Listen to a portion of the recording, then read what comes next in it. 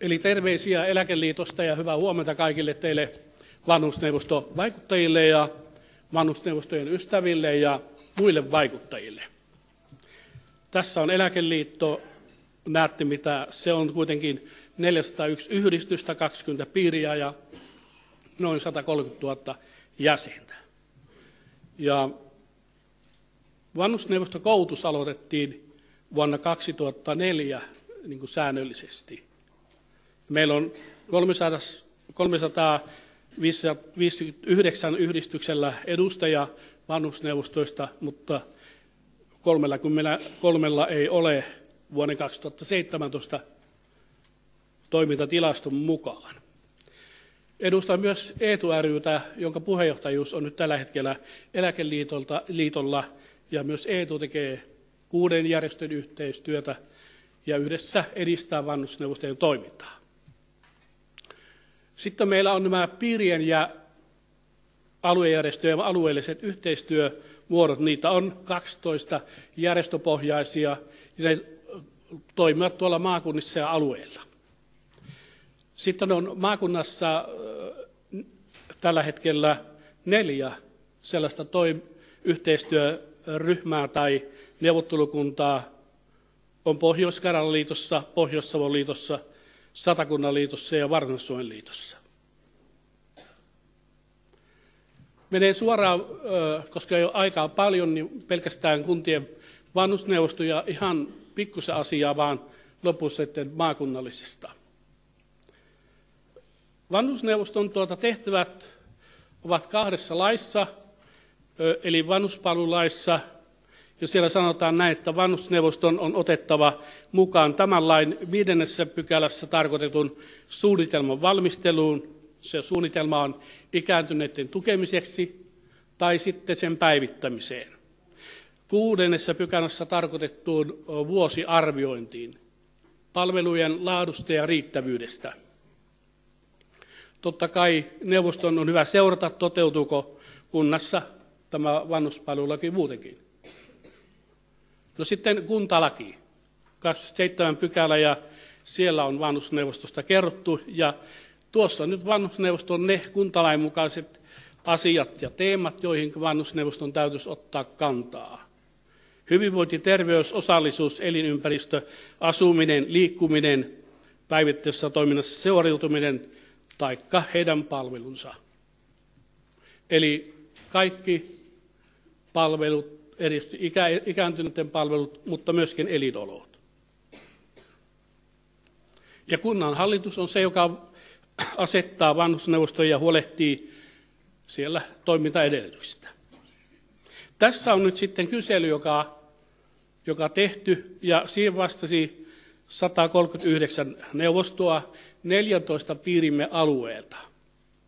Jota on kesken, tähän voidaan vieläkin vastata ja laitan sen tuolta eläkeliittosta vielä liikkeelle ja meidän kotisivuillemme. Kysyttiin, onko vanhusneuvosto perustettu tällä kaudella ja, ja näin oli. Et ketä siihen kuuluu, eli siis nämä eläkeläisjärjestöt, mitä siellä on eniten, niin tässä näkyy ne, ja sitten tietysti on paljon muitakin tahoja ja muita eläkeläisjärjestöjä. Sillä on sitten toinen eläkeläisjärjestöjen yhteistyö kuin VENK ry, jonka, jonka tuota järjestöjä on myös mukana paljon eläkevanhusneuvostossa. Kysyttiin myös, onko varajäsenet ja suurimmalla, asialla, suuremmalla osalla oli, mutta muutamia ollut ei ollut vielä kysyttiin sitä, että miten tämä, missä mielessä asetettiin, onko tämä ikääntyneiden asiantuntijaryhmä tai joku muu, niin se on suurimmassa osassa asiantuntijaryhmä, mutta puoluepoliittisin perustein muutamassa, mikä ei ole kyllä tarpeellista. Sitten eh, mikä, missä yhteydessä vanhusneuvosto toimii, se on kunnanhallitus pääsääntöisesti, joita ei muitakin on. Sitten kysyttiin tällaisia asioita, että miten, mitkä on käytännöt sitten.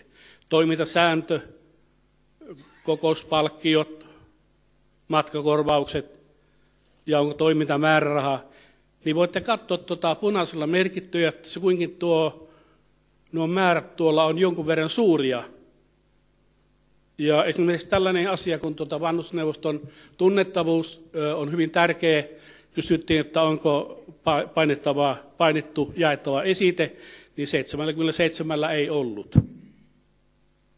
Ja myös tuota, vastuuhenkilö ja sihteeri puuttui 30 ja vanhusneuvostolla oli vain sihteerikunnasta 34.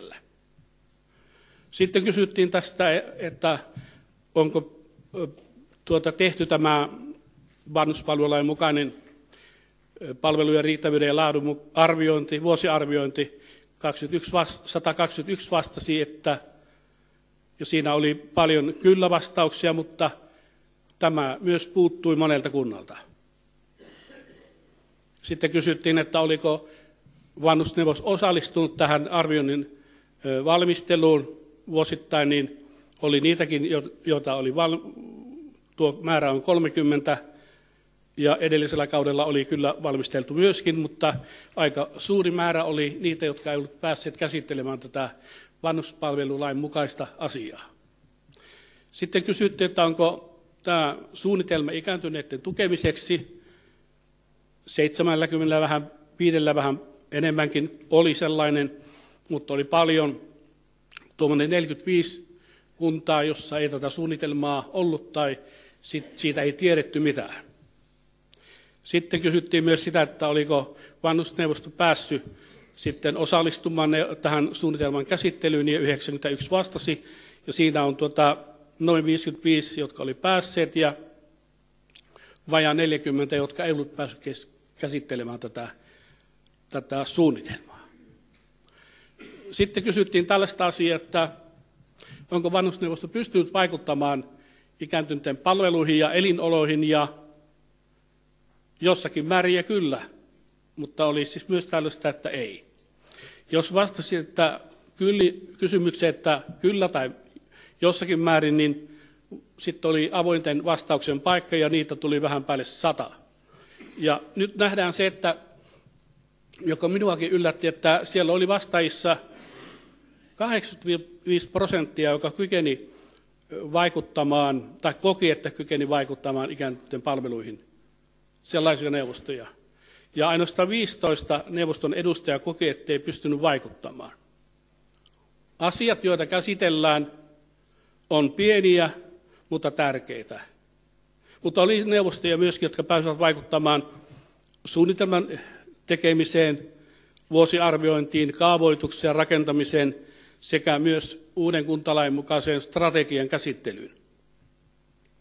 Ja tässä oli niitä sellaisia vaikuttamisteemoja, että siellä tulee nuo liikkuminen ja liikennejärjestelyt, esteettömyys ja saavutettavuus, sitten myös työntekijöiden saaminen ikääntyneiden pariin ja, ja tehtäviin. Myös toimitiloja, alueita ja asuntoja ikääntyneille vaadittiin, ja niitä on myös saatu.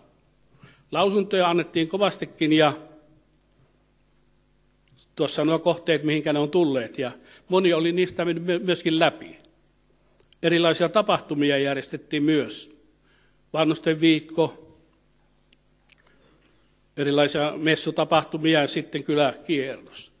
No sitten tämmöistä plussaa sieltä löytyi sitten näistä vastauksista, kun kysyttiin sitä, että lopuksi, että mitä muuta haluat sanoa vanhusneuvostosta, niin moni raportoi hyvin toimivasta ja aktiivista vanhusneuvostosta, jossa jäsenet sito, on sitoutuneita ja motivoituneita.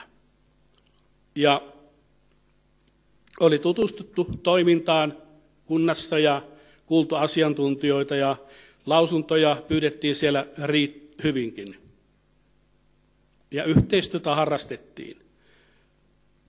Sitten oli miinuksen, miinuksen puoli ja siellä toisaalla oli se, että toiminta oli vähäistä tai se hakee uomiaan. Ja sitten että vanhusneuvostojen asiat ei saa huomiota, tieto ei etene, ei kulje ja aloitteisiin ei vastata kunnasta. Tämä yhteistyö kuntien viranhaltijoiden kanssa oli myös sellainen, jota haluttiin parantaa. Eli arvostusta halutaan lisää. Ja tuo tunnettavuus ja arvostus vaihteli hyvin paljon kuntien välillä. Mutta siinä oli tehty kyllä paljon töitä tämän eteen. Eli näin tällä edellisellä kaudella ja tällä kaudella tehty selvitys, joka on nyt menossa vielä, on kuntia, joissa vanhusneuvostoja arvostetaan ja kuullaan. Neuvostolla on toimintakulttuuri, on kuntia, joissa neuvosto sivutetaan lähes kokonaan, tai se on hyvin muodollista tämä toiminta. Ja tämä havainto oli edellisellä kaudella ja nytkin myös vielä, niin kuin äsken kuulitte, yllättävää, että usein vanhusneuvosto sivutettiin ikääntyneille tärkeissä terveys- ja sosiaaliasioissa. Ja tämä oli leimaavaa sote-kuntayhtymien alueella. Tätä ihmettelin itse. Sitten myös tämä toiminta oli monta kertaa viranhaltijan vetoista. Paljon esityksiä, mutta vanhusneuvosto ei päässyt vastaamaan eikä tullut kuulluksi. Mutta oli topakoita puheenjohtajia, jotka muuttivat tätä. Tässä on toimivan neuvoston tunnusmerkkejä. Tärkeintä, että se on kunnallinen toimielin, asiantuntijaelin, ja se, sillä on sen mukaiset edellytykset toimia. Silloin on tärkeää, että sillä on osaava puheenjohtaja ja vastuuhenkilö, jotta neuvosto tuntee tämän toimialan ja kokoukset on hyvin valmisteltuja, suunnitelmallista toimintaa, myös yhteistyö ja vuorovaikutus kunnan ja taustayhdistyksen kanssa on hyvin tärkeää, myös jalkautuminen kuntalaisten pariin. Ja että neuvosto panostaa tiedotukseen ja suuret toimintaan. Tällaiset asiat nousivat siellä esille tällä kaudella erityisesti neuvostojen pöydissä. Mutta tuo sote-odotus ja epävarmuus, se oli myös sellainen, joka paljon puhuttu, puhutti. Samoin kuin sitten ikääntyneiden asuminen, kotipalvelut, muistiasia ja yksinäisyys ja monia muita. No, hyvin tärkeää olisi se, että kun uusi kuntalaki on annettu, että vanhusneuvosto ja kaikki kunnassa myös viranhaltijat ja luottamushenkilöt tuntisivat sen, että se on muuttunut. Että siellä osallisuus ja vaikuttaminen on kuntalain keskiössä hyvin monessa asiassa. No sitten maakunnallinen neuvosto. Me olemme koulutuskierroksen yhteydessä, jota on ollut varmaan tänä vuonna parikymmentä eri puolilla maata, tehneet myös ideointia maakunnallisen vanhusneuvoston eteen ja monessa kohden on viety nämä ehdotukset sitten muutosjohtajille sinne maakuntaliittoihin ja, organisaatoihin. Ja tiedän esimerkiksi, että Lapissa nyt on jo tehty päätökset siitä ja nimetty henkilöt, kun vaan tuo päätös sitten eduskunnasta tulee joskus se aloittaa välittömästi. Kiitoksia. Paljon, paljon, paljon, paljon kiitoksia Seppo Mustonen tästä todella hienosta tietopaketista meille.